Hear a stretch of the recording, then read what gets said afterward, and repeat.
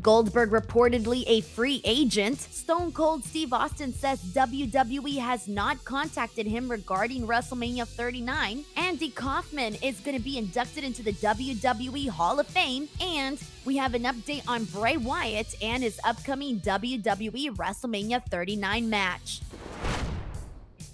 Fightful Select reported today that Goldberg's contract with WWE expired at the end of 2022, with no deal being reached to renew or extend it. Goldberg last wrestled for the WWE at the Elimination Chamber event last February, losing to Roman Reigns in a match that was for the WWE Universal Championship. After a long period away from the ring, Goldberg made his return to the WWE back in 2016, facing Brock Lesnar at that year's Survivor Series event. During his latest run with the company, Goldberg won the WWE Universal title twice, once in 2017 by defeating Kevin Owens, and a second time in 2020 defeating the Fiend Bray Wyatt.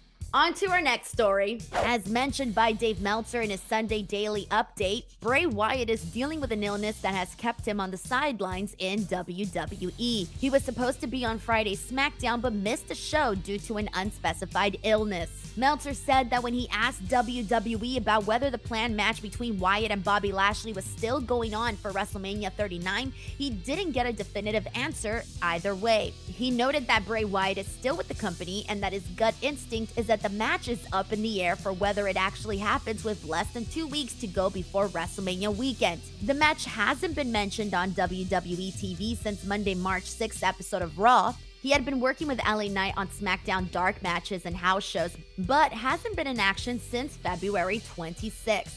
Up next, we have one of the most impactful celebrity wrestlers of all time is said to take their place in the WWE Hall of Fame. It was announced via Variety today that Andy Kaufman will be part of the 2023 WWE Hall of Fame class. Kaufman is an actor and comedian who played Latka Gravas on the television show Taxi and was involved in pro wrestling when he took part in an angle with Jerry Lawler in Memphis. The angle included a 1982 appearance on the David Letterman show where Lawler slapped Kaufman. Kaufman died at 35 years old in 1984, and Stone Cold Steve Austin has addressed his possible involvement at WrestleMania 39. Austin told the Wrestling Classic that he hasn't heard from WWE regarding the event. He also said that he believes the company should focus on its current roster at this year's show. However, Austin would respond to be determined when asked about possibly making an appearance at the event. Our own Dave Meltzer noted in January that Austin had turned down offers to wrestle at the event.